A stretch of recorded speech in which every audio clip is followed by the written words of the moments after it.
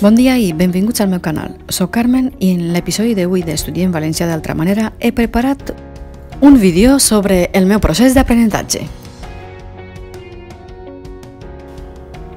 No només presentaré les pautes que vaig fer per aconseguir l'assolit de l'examen C2 de Valencià, sinó que també explicaré de forma clara i concisa la meva planificació diària.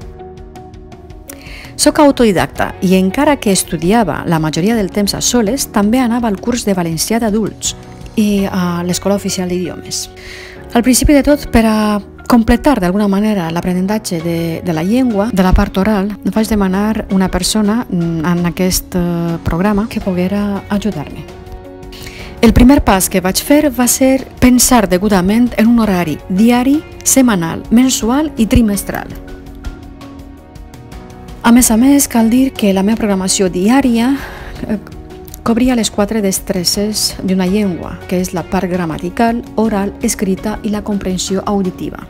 Per a evitar la procrastinació cal apartar-nos de les eines informàtiques, així com les xarxes socials que utilitzem amb freqüència. Com podeu observar, així està la meva planificació diària. Començava el dia a les 8 o 9 del matí i escrivia 10 verbs Després llegia dos o tres articles d'opinió del meu diari favorit, eh, que s'anomena Diari La Veu. Apuntava totes les paraules noves trobades i després de fer targetes amb aquestes noves paraules, eh, intentava memoritzar-les. Un mètode eficient i ràpid per a memoritzar aquestes paraules era utilitzar-les dins d'una redacció, que abans de l'examen feia una o dues redaccions cada dia. També estudiava un concepte gramatical cada setmana i em feia esquemes i targetes.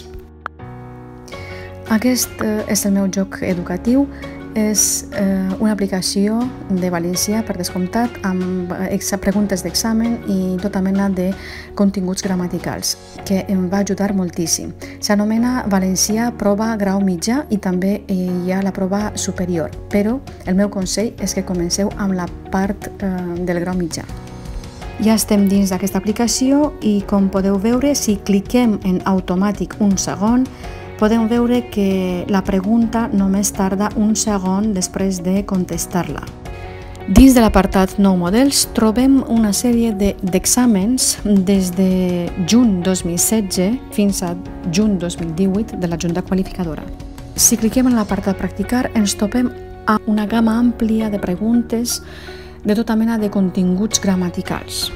Així tenen un bon exemple del verb coure. Coure té dos participis, cuit, cuita, cuit, cuites, que significa sometre a l'acció del foc. Per tant, l'opció correcta és cuit.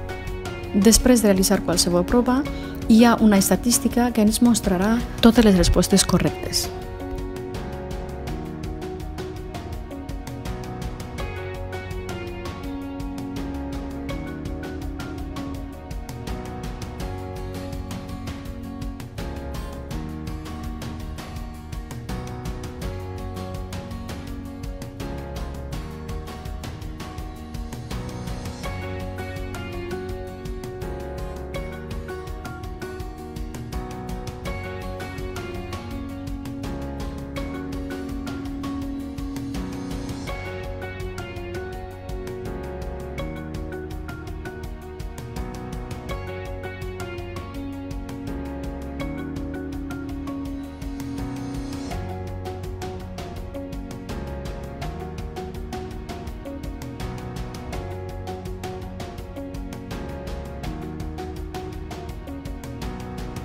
Fins així l'episodi d'avui.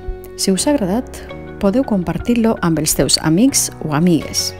No oblideu practicar el valencià. A més a més, deixeu els vostres comentaris per qualsevol pregunta, suggeriment o recomanació. Donar-li a la campaneta perquè d'aquesta manera us arribarà les notificacions cada vegada que pugi un vídeo nou.